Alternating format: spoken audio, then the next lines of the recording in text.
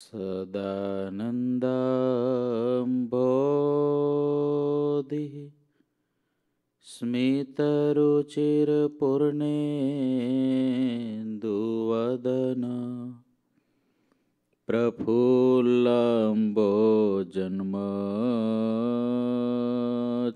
प्रफुल्लम्बोजन्मच्छदसदृश शोभाक्षियुगल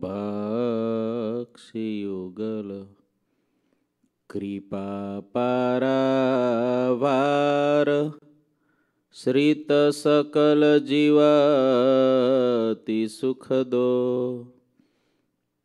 महाश्रेयो मूर्ति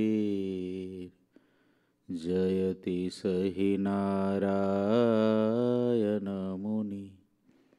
वर्निवेशरमणि मन्दहासरुचिरात्मनाम्बुजम्।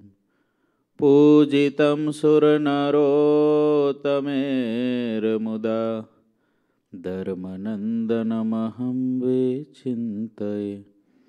ॐ अवतारिणे श्रीस्वामिनारायणाय नमो नमः।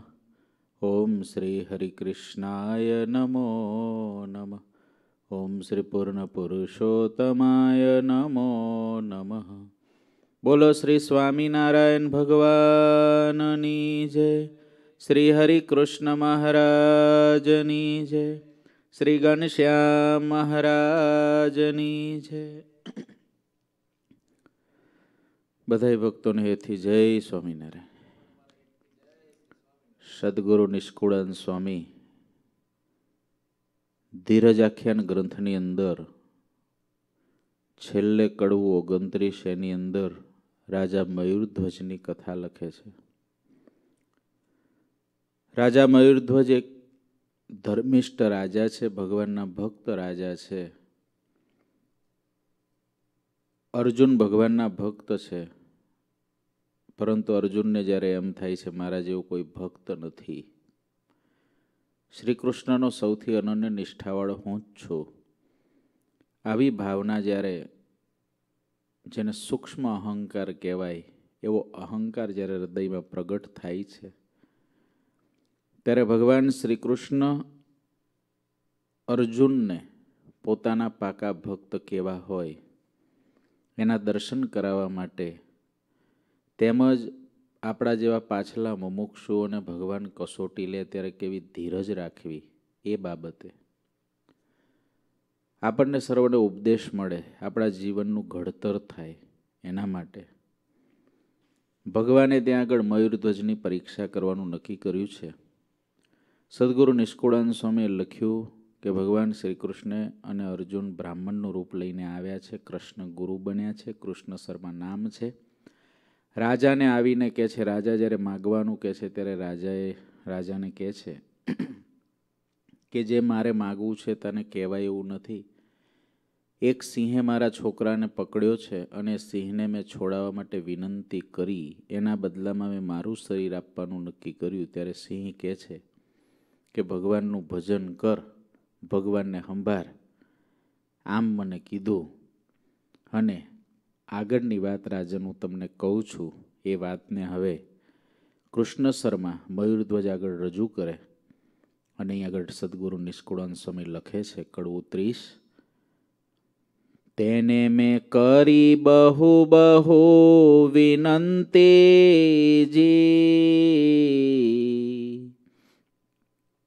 પણ વાઘે ન માની મારી એક રતેજી મારે તો પડી ત્યાં વિકટ વિપત્તિજી તે જોઈ સિંહ કહે, સુણ શુભ મતેજી હે રાજન કૃષ્ણ સર્વ મયુરધ્વજ રાજાને કહે છે, હે રાજન,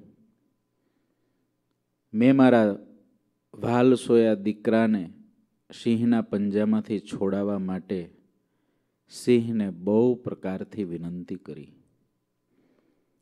સિંહ કોઈ પ્રકારે માનવા તૈયાર નથી. હું એને પગે લાગું છું, વારે વારે પ્રાર્થના કરું છું. તમે તો જંગલના રાજા છો. હું તમારે સરને છું, તમે મને ખાઈ જાઓ, પણ મારા દીકરાને છોડી દો.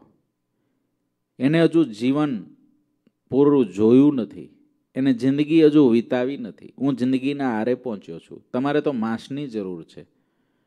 મારા શરીરમાં પણ માંસ છે. તમે મને ખાઈને તમારી ભૂખને પૂરી કરો, પણ મારા આ વાલ સોયા દીકરાને છોડી દો. રાજન, મેં બહુ વિનંતી કરી, બહુ વિનંતી કરી. મારી એક વાત એ સિંહે ન સાંભળી. પછી આખરે હું નિરાશ થઈને બોલ્યો કે મારે તો આ કેવી વિપત્તિ આવી છે. મારા શરીરને મારે છોડવું છે, મારા શરીરને મારે કુરબાન કરવું છે, તો આ આ મૃગપતિ રાજા, સિંહ મને ખાવા તૈયાર નથી અને મારા કુમળા બાળકને ખાવા તૈયાર થયા છે. વિધાતાના કેવા લેખ મારા નસીબમાં લખેલા હશે આવું આર્ત નાદે હું જ્યારે મનોમન મારી જાતને ધિક્કારતા અનુભવતો હતો એ સમયે, એ જે સિંહ હતો, એ સિંહે મને કીધું કે, ભૂદેવ, સાંભળ. તારે તારો દીકરો જોઈએ છે ને? તને બહુ વાલો છે ને? તારા કુળનો ઉજાગર છે ને? તો સાંભળ, મારે તને તારો દીકરો દઈ દેવો. પણ મને બહુ ભૂખ લાગી છે. મને એટલી બધી ભૂખ લાગી છે. મને ખબર છે કે તને દીકરાના વિયોગનું શું દુઃખ થાય એનો મને ખ્યાલ છે. મારે પણ પુત્રને પરિવાર છે. તારે જેમ પુત્રને પરિવાર છે, એમ મારે પણ પુત્રને પરિવાર છે. મને ખબર છે કે પુત્ર વિયોગનું શું દુઃખ હોય. પરંતુ મને મારી ભૂખ પણ એટલી જ આતુર કરે છે તારા બાળકને ખાવા માટે. શુભમતી સાંભળ સહી. મૃગપતિ ન મૂકે મુખથી. બહુદીને મળ્યો બાળક તારો ઘનુ પીડાનો હતો ભૂખથી.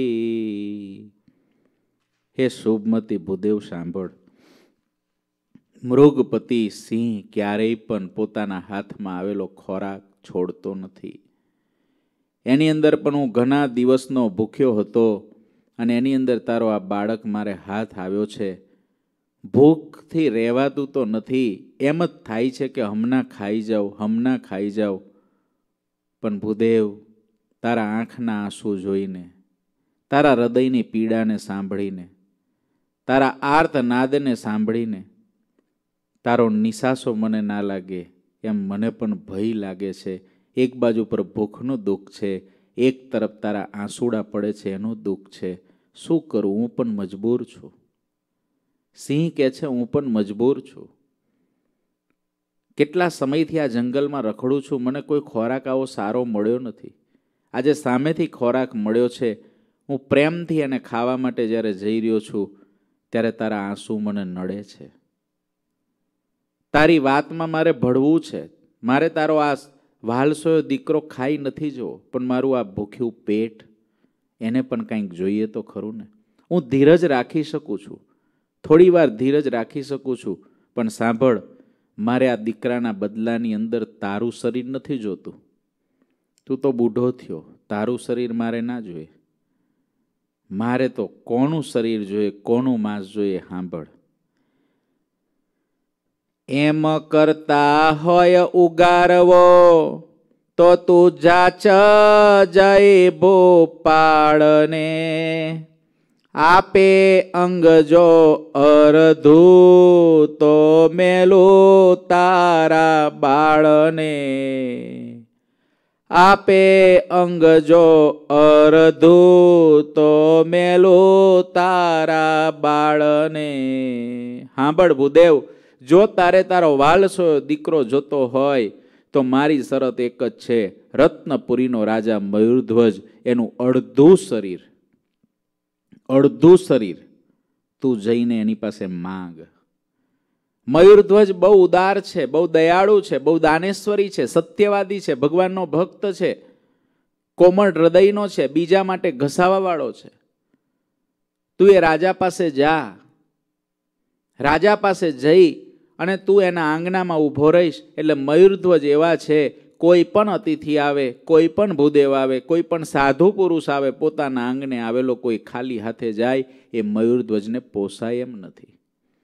અખંડ યજ્ઞ પરાયણ જેનું જીવન છે. અખંડ જેને ત્યાં હવિષ્ય અન્ન યજ્ઞની અંદર હોમાયા કરે છે. અખંડ જેનું ભક્તિ પરાયણ જીવન છે. પરોપકારી જીવન છે. આવો રત્નપુરીનો મયુરધ્વજ રાજા, એનું અડધું શરીર જો કાપીને એની પત્ની, એની રાની અને એનો દીકરો એ બંને જણ કરવતથી વેરીને એનું અડધું શરીર જો મને આપે તો આ છોકરાને હું છૂટો કરું. તારે તારો દીકરો જોઈએ છે. મારે મયુરધ્વજ રાજાનું અડધું શરીર જોઈએ છે. મારે એનું અડધું શરીર, એનો દક્ષિણ ભાગ જોઈએ છે. ત્યારે બ્રાહ્મણ વિચારમાં પડી ગયો, અરે સિંહ, ભલા તારે માંસની જરૂર છે. તારે એક મનુષ્યની જરૂર છે. હું પણ મનુષ્ય છું, મારું પણ શરીર છે. તને મને ખાવામાં શું વાંધો છે? રત્નપુરીને એવો ઉદાર દિલનો રાજા, આટલી પ્રજાનો જે આધાર છે, આ પૃથ્વીનો જે આધાર છે, અનેક દુખિયારાઓનો જે બેલી છે, એવા રાજાના અડધા શરીરને કાપીને, એ ખાવાથી તને શું મળશે? એના કરતાં તું મને ખાઈ જા, મને ખાઈ જા. અને ત્યારે સિંહ કહે છે સાંભળ સિંહ કહે છે સાંભળ તારે જો તારા દીકરાને છોડાવો હોય, તો તારા દીકરાના બદલામાં હું આ એક જ વ્યક્તિનું અડધા શરીરનું માંસ ખાઈને મારી તૃપ્તિ કરી શકું એમ છું. તને શરત મંજૂર હોય, તો ભલે, નહીં તો હમણાં તારો દીકરો જાય છે. પછી હું તારા આંસુડા બાજુ નહીં જોઉં. આ તો મને તારા આંસુ જોઈને દયા આવી છે. આ તો મને તારી પીડા જોઈને દયા આવી છે. એટલો ભૂખ્યો છું કે એક સેકન્ડ પણ વાત કરવા માટેની મારી તૈયારી નથી. છતાં પણ તારા આંસુડા જોઈને, તારા નિશાસા જોઈને તને આ આ હું તને શરત મૂકું છું તારે આ કામ કરવું છે કે પછી તારો દીકરો લઉં? ત્યારે વિપ્ર ફરીથી આર્ત નાદે સિંહને કહે છે, ત્યારે વિપ્ર કે મેં કહ્યું વાઘને? વિપ્ર મયુરધ્વજને કહે છે, મેં તરત વાઘને કીધું. એ વાત મુથી કેમ થાય? કદાપી માગું હું અંગ એનું પણ રાયે કેમ દેવાય? બ્રાહ્મણ કે છે, મેં વાઘને કીધું, રાજન, કે તું એમ કહે છે કે મારા દીકરાના બદલામાં રાજાનું અડધું શરીર આપો તો હું રાજા પાસે કદાચ હાલ માગવા માટે જાઉં. હું તો નથી જ ઈચ્છતો કે આવો દયાળુ ને આવો પરોપકારી રાજા હોય એનું અડધું શરીર કપાય.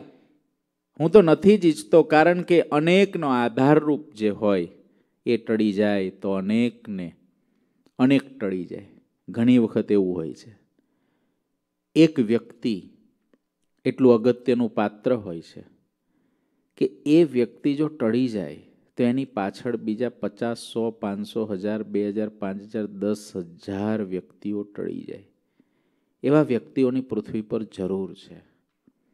એવા જે પરોપકારી હોય, મહાપુરુષો હોય, ભગવાનના ભક્તો હોય, સજ્જનો હોય, જેનાથી ધાર્મિક સમાજને પોષણ થાય છે, જેનાથી સામાજિક સમાજને પોષણ થાય છે, જેનાથી અનેક દુખિયારાઓ સુખી થાય છે, એવા સજ્જનો, એવા સંતો, એવા ભક્તો આ પૃથ્વી પર વધુમાં વધુ રહેવા જોઈએ. કારણ કે એવાના આધારે હજારો ભગવાન ભજતા હોય, એવાના આધારે હજારો પોતાનું પેટ ભરતા હોય, એવાના આધારે હજારો પોતાના કાર્યો કરતા હોય. એવા જે સજ્જન વ્યક્તિઓ પૃથ્વી પર હજારોની સંખ્યામાં ભગવાને મૂક્યા છે. એવાની આયુષ્ય દીર્ઘાયુ થવી જોઈએ. અને આતતાઈઓ જે છે, બીજાને દુઃખ પહોંચાડવાવાળા છે બીજાને નુકસાન કરવાવાળા છે, પૃથ્વીના ભારરૂપ છે. એ જેટલા વહેલા પૃથ્વીમાં સમાઈ જાય ને એટલું સારું છે.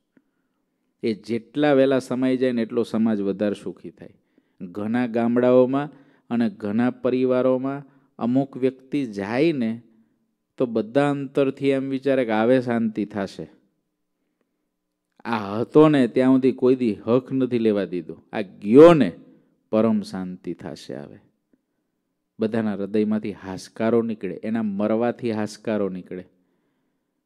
અને એવા ભગવાનના કેટલાક ઓલિયાને એવા સંતોને એવા ભક્તોને એવા સજ્જનો આ પૃથ્વી પર થયા અને આજે પણ છે કે જેના પ્રાણ છૂટી જાય ને શરીરમાંથી, અનેકના નિશાસાઓ નીકળી જાય. કરે રે રે રે. આવા સારા વ્યક્તિ, આપણા આધારરૂપ આપણે જ્યારે જરૂર પડતી ત્યારે જેનો ખોડો આપણને ખોંદવા મળતો.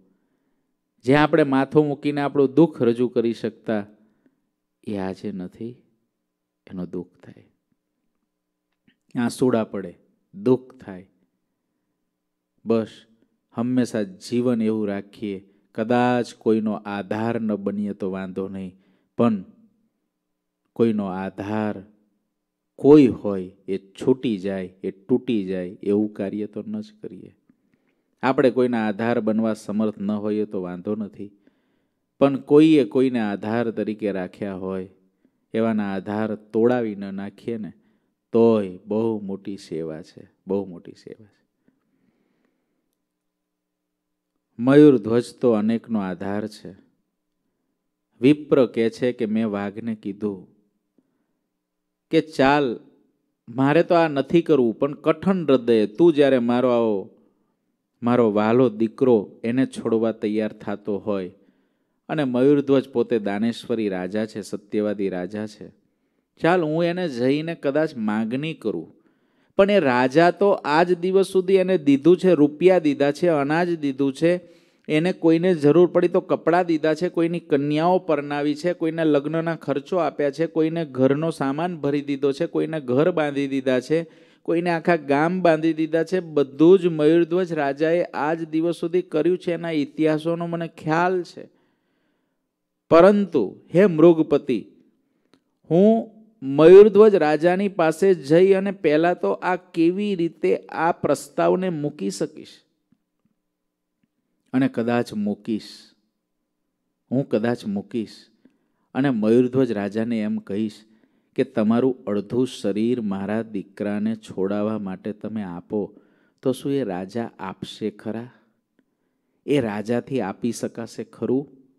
આવું ભૂદેવ મયુરધ્વજ રાજાને કહે છે કે, રાજન, મારે તો તમને આ વાત કરવી જ નહોતી. મને રસ્તામાં આવતા આવતા પણ તમે અહીં પૂછ્યું, ત્યારે પણ મને એમ થાય છે કે પૃથ્વી ફાટે તો પૃથ્વીમાં સમાઈ જવું મારે મારા દીકરાનું મોત જોવું ના પડે. મારે મારા તમારા જેવા એક ઉદાર રાજા એની આગળ આવી વિનંતી મૂકવી ના પડે. આ અરજીને મૂકતા પણ મારી જીવ ઉપર કટાર મૂકી હોય એટલું મને દુઃખ થાય છે.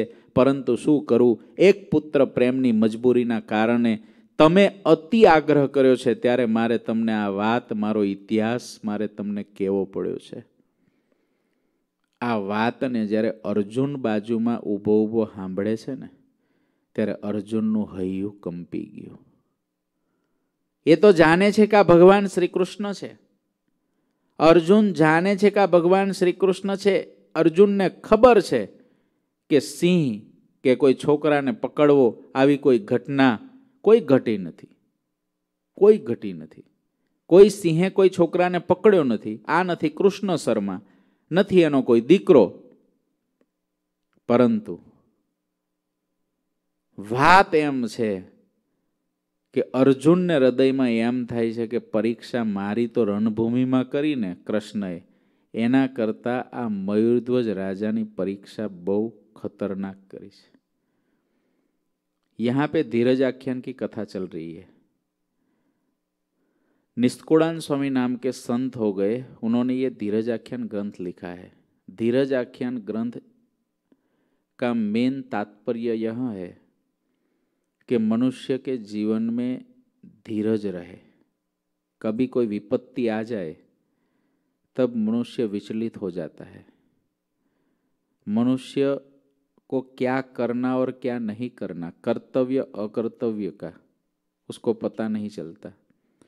तो समय पर, विपत्ति आने पर भगवान के भक्त को धीरज हृदय में रहे। इस हेतु से स्वामी ने पूर्व में सत्युग समय में जो जो बड़े बड़े भगवान के भक्त हो गए, उनके चरित्र लिखे हैं।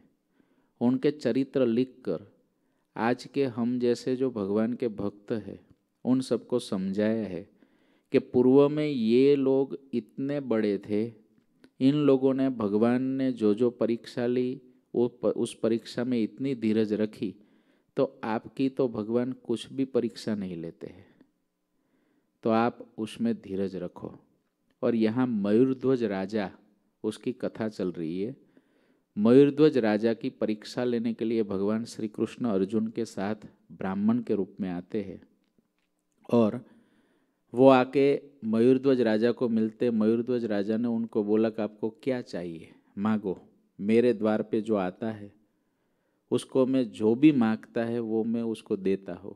तब भगवान बोले कि मैं एक ब्राह्मण हूँ, मुझे आपसे जो मांगना है वो बहुत कठिन है। राजा कहते हैं, कुछ भी मांग लो, जो भी चाहिए मैं दे दूँगा। तब भगवान बोले कि मेरा एक लड़का था, मैं उसकी शादी कराने जाता था। एक शेर ने उसको पकड़ लिया है। मैंने वो शेर को बोला कि मेरे बच्चे को छोड़ दो, उसके बदले में तुम मेरा मांस खा लो। वो शेर बोलता है, नहीं, मैं इसको नहीं छोड़ने वाला, मैं भूखा हूँ। वो ब्राह्मण, वो मयूरध्वज राजा को कहता है कि मैं श्री कृष्ण भगवान, उनको कहते हैं कि मैंने उसको बहुत प्रार्थना की। तब वो शेर मुझे एक शर्त पर मेरे बच्चे को छोड़ने के लिए तैयार हुआ। उसने बोला कि रत्नपुरी का जो राजा मयूरध्वज है, उसकी पत्नी और उसका बेटा दोनों होके मयूरध्वज के शरीर को आरे से, बीच में से काटे और उसका जो दक्षिण भाग है, वो मेरे लिए आप ले आओ तो मैं आपके बच्चे को छोड़ दूँगा। और ये भिक्षा करने के लिए भगवान श्री कृष्ण अर्जुन को लेके मयूर ध्वज की परीक्षा करने के लिए उनके पास ब्राह्मण के रूप में आए हैं।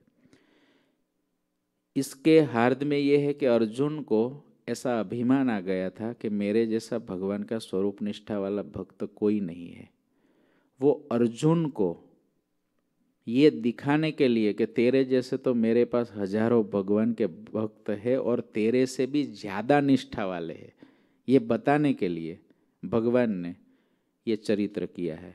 एक अर्जुन को पाठ देने के लिए और दूसरा हम लोगों को पाठ देने के लिए कि आप लोगों को तो मैंने करवत से कभी काटा नहीं। आप लोगों को मैं कभी दुख दे देता हूँ या हो जाता है तो वो तो आपका ही किया कर्म है, उसका दुख देता हूँ। यदि मैंने कभी आपकी परीक्षा ले ली तो मैं क्या आपकी परीक्षा ले लेता हूँ? कभी पेट में दुखता है, कभी सर दर्द होता है। कभी जॉब चली जाती है कभी गाड़ी बिगड़ जाती है और क्या ज़्यादा से ज़्यादा क्या हो जाता है करवत से आपको काटता तो नहीं हो ये हम सबको पाठ भगवान देते हैं ये सब ये कथा सुन चुके थे लेकिन आप आए तो इसलिए मैंने बीच में कथा आपको सुना दी क्या चलता है जिससे अब आपको आगे पता चले બ્રાહ્મણે મયુરધ્વજ ને એમ કીધું કે મયુરધ્વજ મને તો સિંહે આવું કીધું છે. હવે શું કરું? અન્ન ધન આપે અવની, તે તો સત્યવાદીને છે સોયલું. પણ અંગ કાપીને જે આપવું, એથી બીજું સુદોયલું કૃષ્ણ શર્મા જો ભગવાન શ્રી કૃષ્ણ કૃષ્ણ શર્મા બને હે બ્રાહ્મણ. वो मयूरध्वज को कहते हैं कि मैंने वो शेर को ऐसा बोला कि कोई सत्यवादी राजा होता है तो वो अन्न दे सकता है, धन दे सकता है, पृथ्वी दे सकता है, लेकिन अपना आधा शरीर थोड़ा दे सकता है। कोई सत्यवादी है, परोपकारी है तो पैसा दे दे, कन्यादान दे दे, अनाज दे दे, घर दे दे, लेकिन कोई ऐसा सत्यवादी इस पृथ्वी पर नहीं हुआ है कि वो अपना शरीर काट के दे दे। ऐसा भगवान मयूर ध्वज को कह रहे हैं कि मुझे इतना विश्वास है कि आप सब कुछ दे सकते हो, लेकिन अपना आधा शरीर नहीं दे सकते। ये भगवान मयूर ध्वज को ऐसी बात करते अर्जुन कांपने लगते हैं। अर्जुन को लगता है कि मैं तो ऐसा भक्त नहीं हूँ। ये मयूर ध्वज क्या करेगा अब?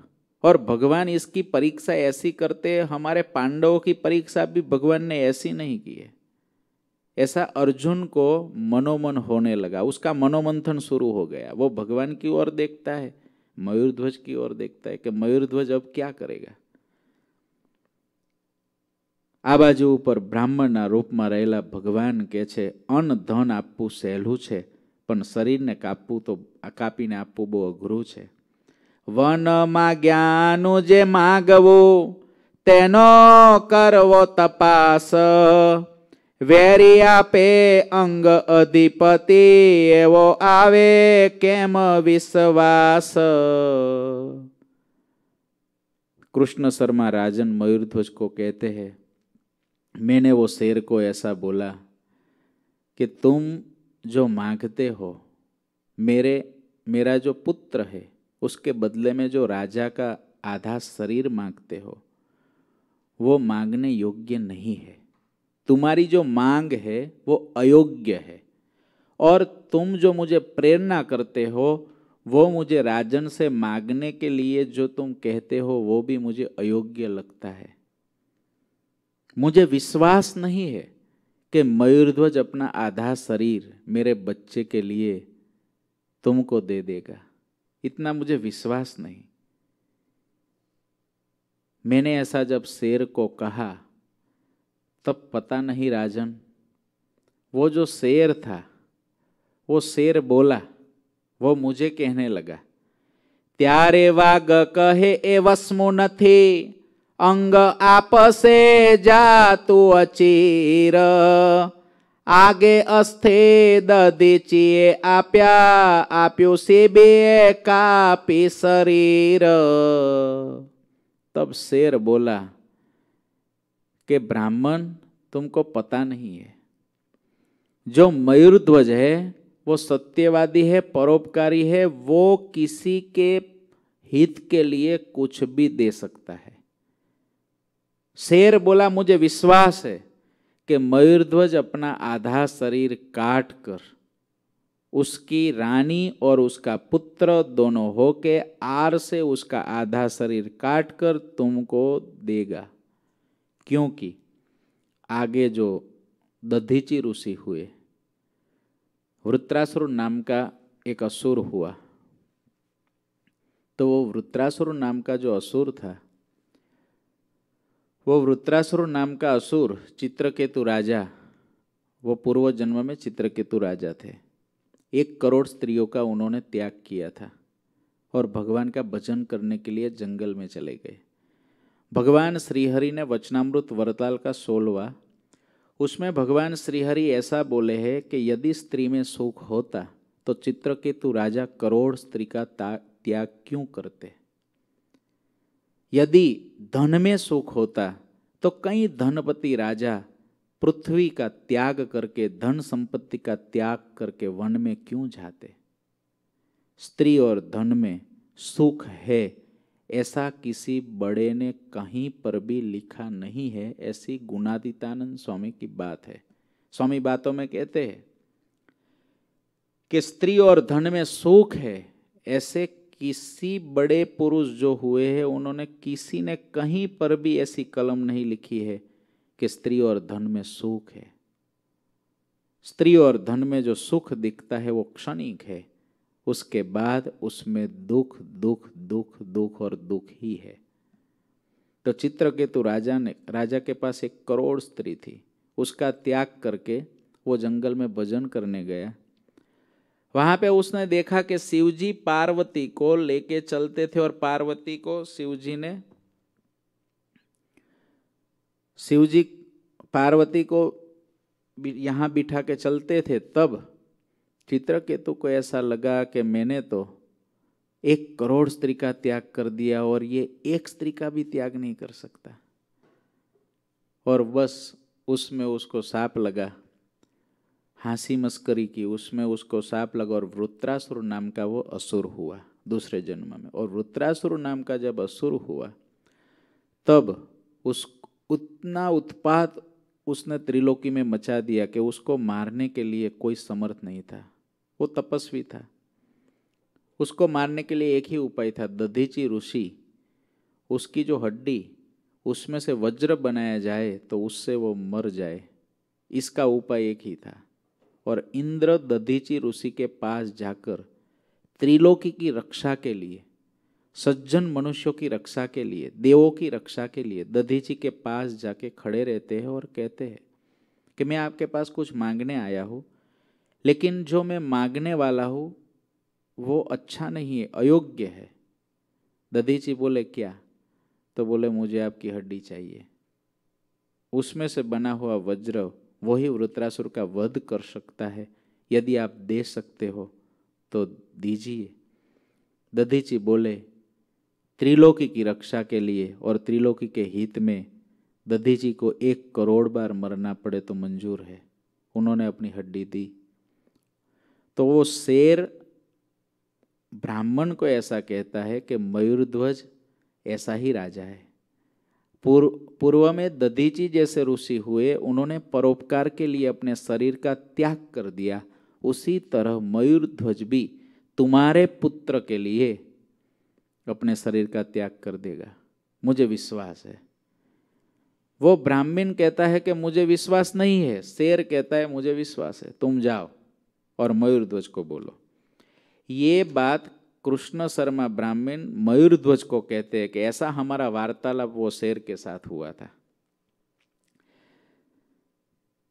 કરને કવચ આપ્યો આપ્યું બળીએ ત્રિલોકીનું રાજ સત્યવાદીને છે સોયલું જઈ જાચો ન પાડે તે નાજ આગળ કર્ણએ કવચ અને કુંડળ આપ્યા જે કર્ણ પૂર્વ જન્મની અંદર એક અસુર હતો અને અસુર હતો અને એ વખતે કર્ણએ સૂર્યની ઉપાસના કરેલી સૂર્યદેવને તપ કરીને પ્રસન્ન કરેલા અને એ પ્રસન્ન કરીને સૂર્યદેવ પાસે રાજી થયા असुर तप करने में तो बहुत ही माहिर होते हैं जितने असुर हुए उन्होंने तप बहुत किया है लेकिन उसका जो फल है वो उल्टा मांगते हैं।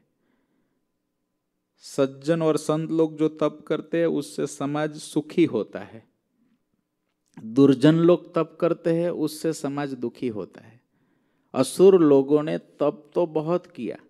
भगवान के भक्त ने भजन किया, जितना तप नहीं किया, उतना तप असुरों ने किया है। रावण, कुंभकर्ण, कंस, सब। सब तपस्वी थे। लेकिन उनका तप का फल समाज के लिए दुख रूप था। तो ये भी असुर था। इसने तप किया सूर्य देव को प्रसन्न किया सूर्य देव से मांगा कि मुझे सौ कवच दीजिए। सौ कवच ऐसे दीजिए कि सौ कवच सामान्य आदमी कोई तोड़ न सके। और जो भी तोड़ने वाला हो, एक हज़ार वर्ष तक तप करके फिर वो मेरे साथ लड़ने आए, तब मेरा एक कवच टूटे। ऐसा वरदान दो। और सामान्य मनुष्य तो मेरे कवच को तोड़ ही न पाए। सूर्यदेव को पता था कि ऐसा वरदान देने से त्रिलोकी दुखी होगी। फिर भी उसका तप देख के सूर्यदेव इतने प्रसन्न हुए। तथास्तु, ये देव लोग वरदान दे देते, तथास्तु कहने में फिर भगवान को दौड़ना पड़ता है।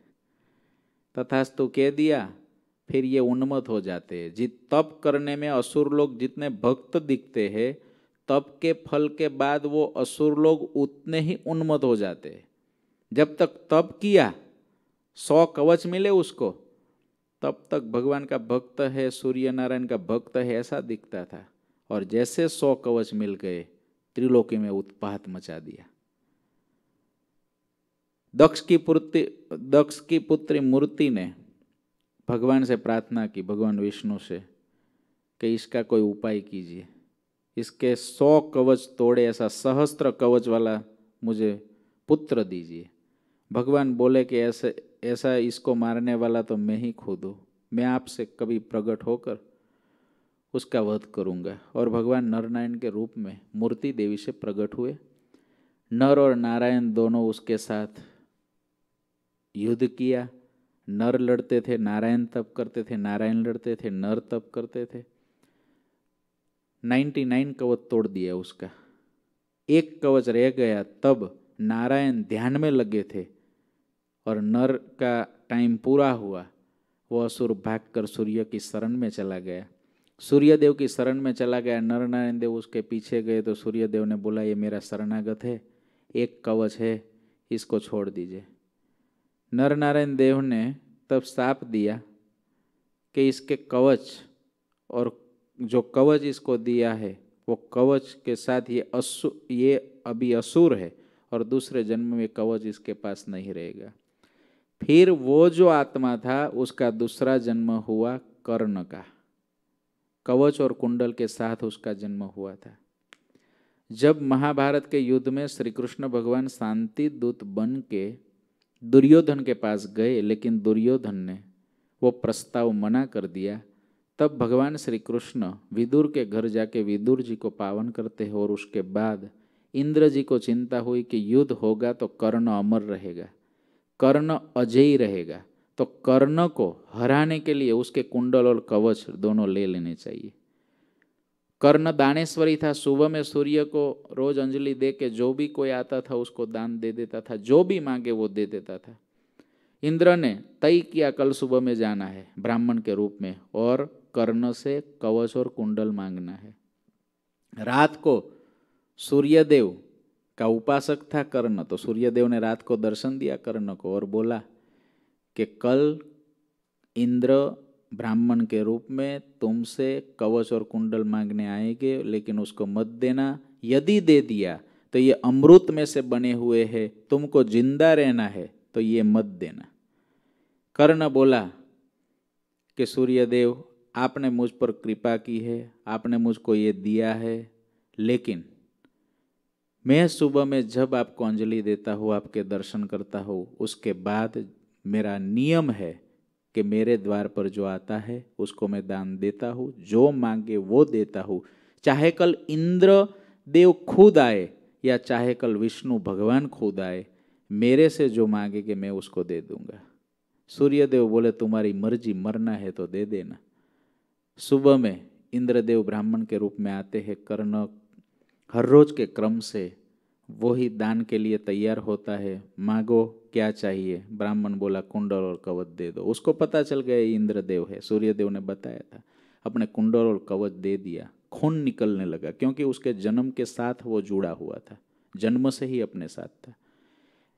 तो कर्ण ने भी अपने मृत्यु को बुला लिया, लेकिन अपने वचन जो सत्य, उसका दान का जो धर्म था, उसका सत्य का जो धर्म था, वो कर्ण उससे चलायमान नहीं हुए।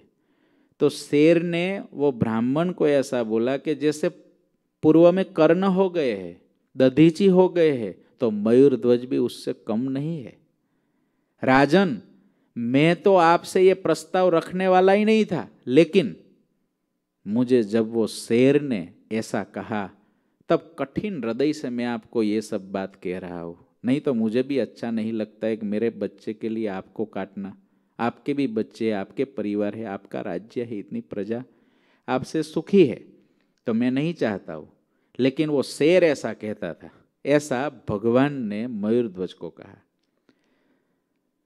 शेर ऐसा कहता था सत्यवादी ने छे सोयलू जई जाचो न पाड़े ते नाज वो शेर बोला कि वो सत्यवादी मयूर ध्वज है आपको मना नहीं करेंगे जाओ इसलिए राजन मैं आपके पास आया हूं એમ કહી અહીંયા મોકલ્યો તરત તમારે રાય પાસ નથી મગાતો મેં મુખથી, તેમ નથી મેલાતી સુત આસ.